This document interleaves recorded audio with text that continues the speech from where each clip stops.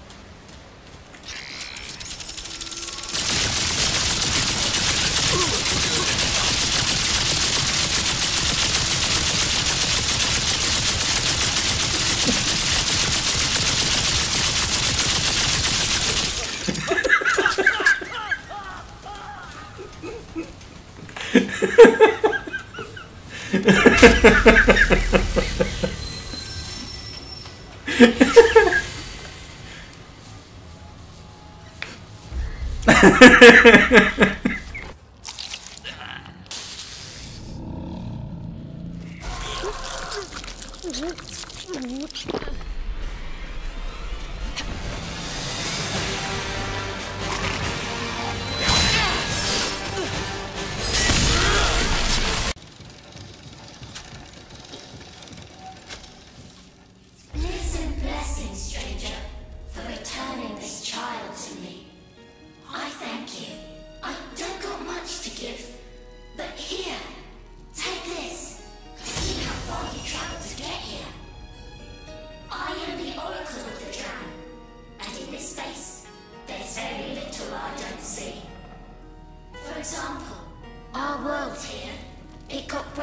See.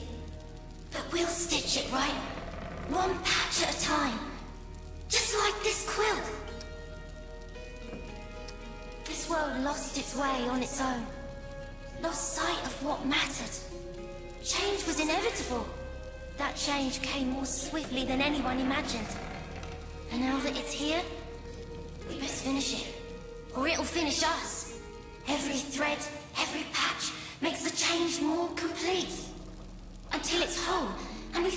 Ourselves again. Even you, now that you're here, have your own patch to sew. You must find the one who did this. The one that brought the change and smashed our worlds together. A powerful being. To stitch two whole worlds together? They'd have to be now, wouldn't they? I wish I could tell you more, dear. But this one ain't been seen much by the Dran. And so it ain't been seen by me.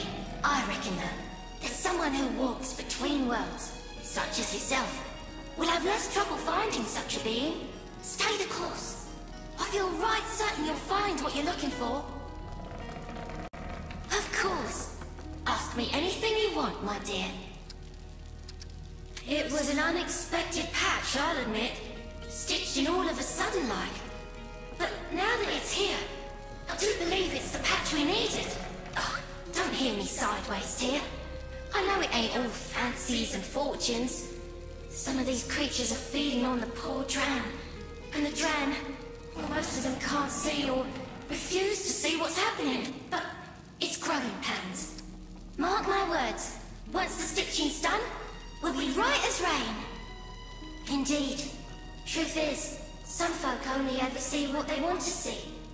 For if they open their eyes to the facts, it'd mean ripping out every stitch left holding them together. So, I understand those what can't see, but their blindness makes things so much worse for the rest. Those what can see have it terrible. They can't ever go back to the way things were. But there ain't no one to give them the help they need.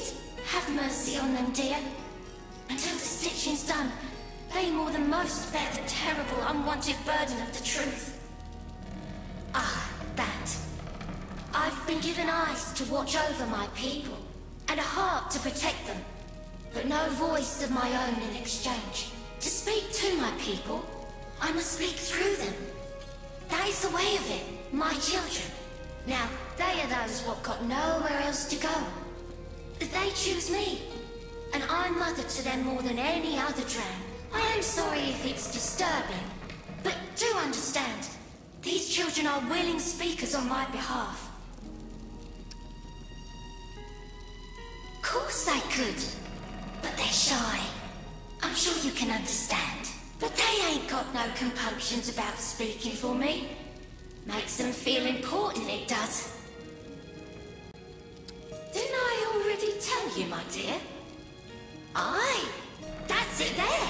Sure as sugar, life's the quilt, and the quilt is life. And we're all part of the patchwork. None can see the whole till the whole is done. All we can do is stitch it in, one patch at a time. There's patches what ain't been stitched in yet. But that don't make them less a part of the whole. It just means the quilt ain't finished. And Like these children here, stitched to their parents. Though their parents ain't around no more. And they were stitched to me too before we met. For all Dran are a part of each other. Quilt and Dran are the same, my dear. And not just the Dran. We're all this quilt. It's just that all the patches ain't been sewn in yet. And maybe never will be. At least, not in a single run-through. Life's just a rehearsal for something else, isn't it? It might feel like we only get the one run at it, but there's so much more. And some of us get more than that, don't we? You! You live and die and live again! But it's all part of the same quilt. Of your life's telling a single story. And when your patches end, another's will be sewn in. And so the quilt continues, on and on, until it's complete. Oh, we'll know when we know. Until then, we just keep stitching in our stories, one patch at a time.